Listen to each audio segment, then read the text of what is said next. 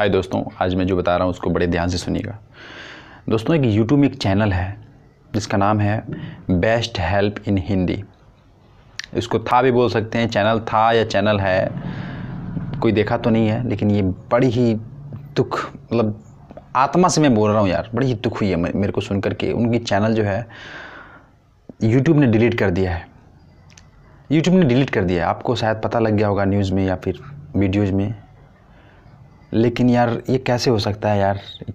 इतने बड़े मतलब 3.3 मिलियन तैंतीस लाख लोग उनके सब्सक्राइबर थे और ऐसे चैनल डिलेक्ट हो गए हैं।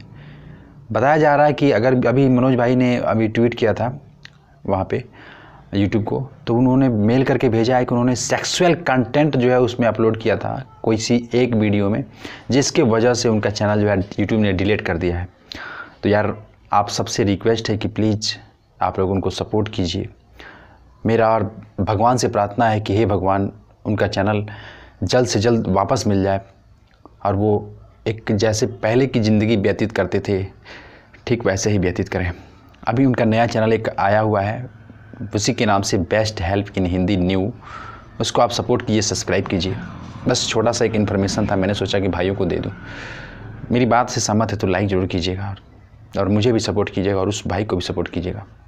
मैं जानता हूँ उसके ऊपर क्या बीत रही होगी, जो भाई जिसकी चैनल डिलीट हुई है। Thank you